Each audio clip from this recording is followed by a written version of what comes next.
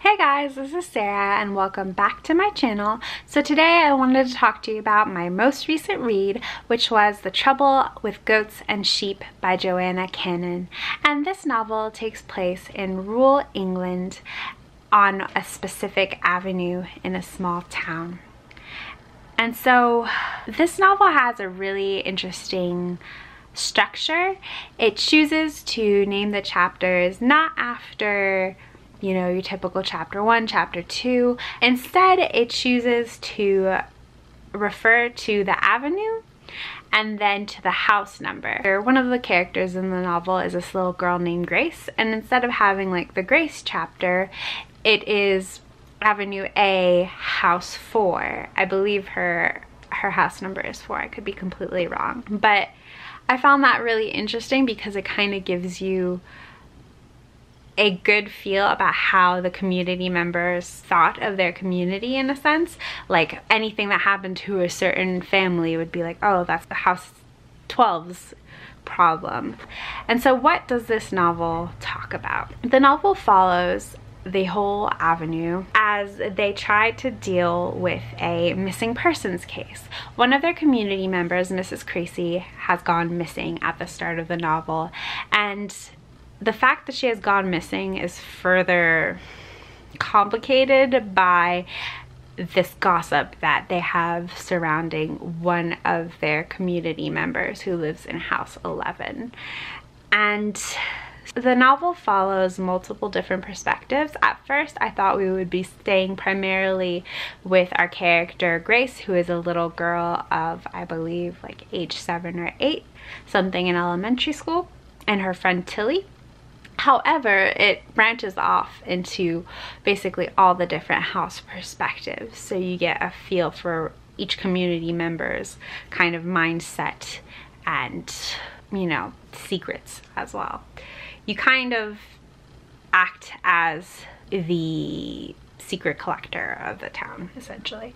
So I really liked this novel. I thought that it had a lot going for it because like The Summer That Melted Everything, this novel takes place on a really hot summer where the secrets that all these community members were trying to keep to themselves are brought to light because of Mrs. Creasy's disappearance. And it also had a really good way, like The Summer That Melted Everything, of talking about how when there is a lot of gossip in any given town or in any given group, even if it's just two friends, it can cause a lot of damage and that gossip can take a life and a myth of its own. It can get compiled upon and changed and so on and so forth. I did not end up liking this as much as a summer that melted everything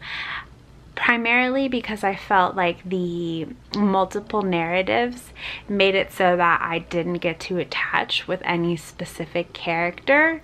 I understand that the novel was supposed to show us how all these characters are inherently flawed, especially in the fact that they like to hold secrets from one another and a lot of them are extremely judgmental. I can see as well how the no novelist Joanna Cannon was trying to call out insular thinking and an insular community and how being too insular and not coming together and being accepting of those that are outside of one's groups can be dangerous. I got that, but at the same time, I didn't feel any deep connection. The only character that the reader is able to connect a little bit more on a one-on-one -on -one basis would be Grace and Tilly because you spend the most time with them. The Dorothy's character, you spend quite a bit of time with her, but she is purposefully written in a way that you kind of doubt her and thus I think that prevents some type of attachment. And all the characters have these kind of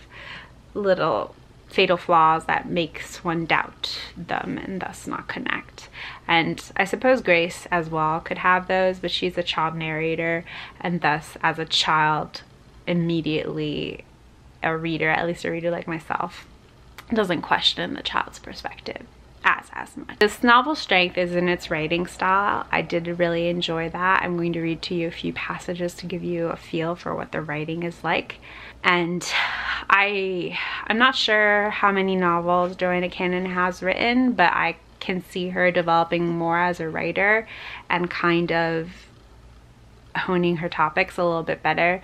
So I'm eager to read more of her works. I wouldn't discount this. I did give it four out of five stars. I'm not saying like I gave it like a two or a one, not at all. But I think for me, it had a lot to live up to with The Summer That Melted Everything being a definite five star and one of my favorite books of this year.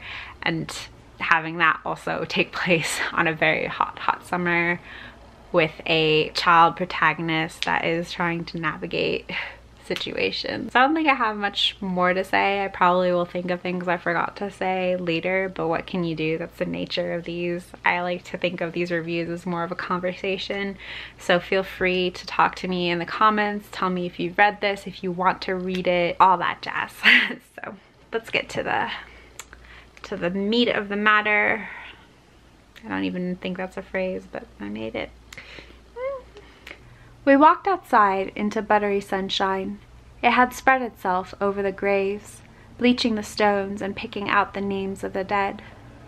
I watched it creep up the walls of the church until it reached the stained glass windows, where it threw splinters of scarlet and purple into a cloudless sky.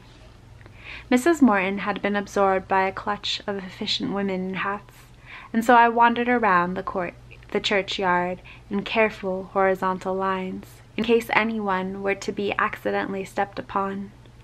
I liked the feeling of the ground beneath my shoes. It seemed safe and experienced, as though all the bones that were buried there had made wisdom grow into the soil. I walked past Ernest's and Maud's and Mabel's, now beloved and remembered only by the dandelions which grew across their names, until a neat gravel path brought me to the channels. The graves here were so old, lichen had eaten into who they used to be, and rows of forgotten people stared back at me from headstones that stooped and stumbled like drunks in the earth. Quote 2 How do you find God? I said. Where is he? He's everywhere, everywhere. The vicar waved his arms around to show me. You just have to look. And if we find God, everyone will be safe? I said. Of course. Even Mrs. Creasy? Naturally. A crow unfolded itself from the roof of the church, and a murderous cry filled the silence. I don't know how God can do that, I said, how he can keep us from disappearing. You know that the Lord is our shepherd, Grace. We are just sheep. If we wander off the path, we need God to find us and bring us home. I looked down at my feet whilst I thought about this. Grass had buried itself into the weave of my socks and dug sharp red lines into my flesh. Why do people have to die? I said. But when I looked up, the vicar was back at the chalice door. Are you coming for tea at the churchyard? he shouted. I didn't really want to. I would rather have gone back to Tilly, her mother didn't believe in organized religion and was worried we'd all be brainwashed by the vicar, but I had to say yes, or it would have been a bit like turning down Jesus. The roads on our estate were all named after trees, and Tilly and I walked from the tall churchyard along an alley which separated Sycamore from Cedar. On either side of us, lines of washing stretched like bunting across deserted gardens, waiting for the whisper of breeze and as we walked, drips of water smacked a tune onto the concrete paths. No one realized then that, in many years to come, people would speak, still speak of the summer, that every other heat wave would be compared to this one, and those who lived through it would shake their heads and smile whenever anyone complained of the temperature. It was a summer of deliverance, a summer of space hoppers and dancing queens, when Dolly Parton begged Jolene not to take her man, and we all stared at the surface of Mars and felt small. We had to share bathwater and fill the kettle, and we were only allowed to flush the toilet after what Mrs. Morton described as a special occasion. The problem was, it meant that everyone knew when you'd had a special occasion, which was a bit awkward. Mrs. Morton said we'd end up with pockets and standpipes if we did if we weren't careful. And she was part of a vigilante group who reported anyone for watering their gardens in the dark. Mrs. Morton used wash water, which was allowed. So that was the quotes that I had to share with you. And I am going to say bye now, but I do really hope that you are all well and that you have a wonderful rest of the week. Bye.